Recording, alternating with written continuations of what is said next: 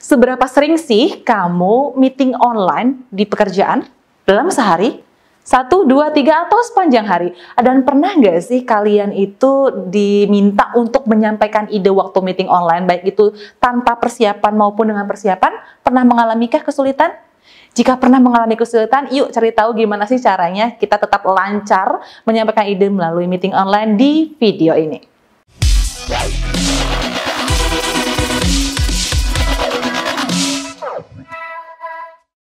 Menyampaikan ide melalui meeting online itu sebenarnya mudah, tapi kita perlu membaginya menjadi dua area. Area yang pertama adalah menyampaikan ide melalui meeting online tanpa persiapan atau impromptu dan dengan persiapan. Yuk kita bahas mulai dari yang pertama yaitu impromptu. Ketika kamu diminta untuk menyampaikan ide secara langsung di akhir sesi oleh atasan, maka hal pertama yang perlu kamu pastikan adalah internet kamu stabil. Pastikan internetnya stabil sehingga tidak mengganggu ketika kita berbicara terputus-putus, video terputus-putus, dan sebagainya. Ketika internet sudah stabil, maka yang selanjutnya kita harus pastikan adalah penampilan kita di video. Aktifkan video kamu. Aktifkan video dan pastikan penampilan di video itu oke. Okay. Biasanya yang terlihat di video itu adalah area bahu, area bahu, kemudian area dada ini ke atas. Nah, area dada ke atas ini yang biasa terlihat adalah area pakaian. Pakaiannya harusnya sudah oke, okay, kemudian ekspresi dan wajahnya juga fresh. Itu sudah oke, okay, maka berikutnya kita pastikan konten. Selama meeting berjalan, kita siapkan kontennya. Kita bisa tuliskan di selebar kertas, atau mungkin kita bisa siapkan atau tuliskan juga di buku, atau yang paling simpelnya adalah ketik di Microsoft Word. Kenapa?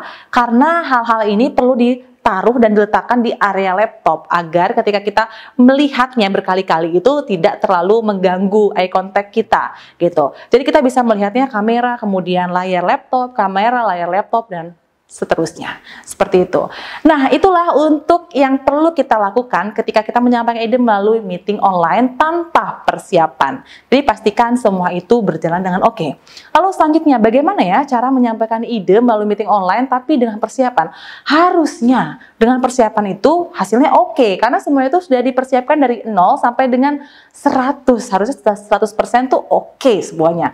Nah, hal yang perlu diperhatikan yang pertama adalah tetap internet stabil, Lalu yang kedua, perhatikan juga untuk penampilan kamu, penampilan videonya aktif, videonya on, kemudian penampilan dari pakaian dan juga ekspresi oke. Okay. Dan yang pasti, yang perlu kamu highlight di sini adalah kamu pernah melakukan share screen. Jadi jangan sampai secara teknisnya malah membuat kamu gagal penampilannya. Nah yang berikutnya adalah kontennya. Kamu tinggal bacakan saja di PPT tersebut dan jelaskan. Tapi kalau misalkan rasanya, aduh kok PPT ini enggak memudahkan saya ya. Oke, tinggal buatlah catatan-catatan kecil di daerah laptop tersebut untuk membantu kamu menjelaskan poin per poin. Nah, itu tadi dua hal atau dua area yang perlu kamu persiapkan ketika ingin menyampaikan ide di meeting online, baik itu dengan persiapan ataupun tanpa persiapan. Yuk, kita mulai terapkan strategi-strategi itu agar meeting online berjalan lancar dan ide pun di-approve oleh atasan.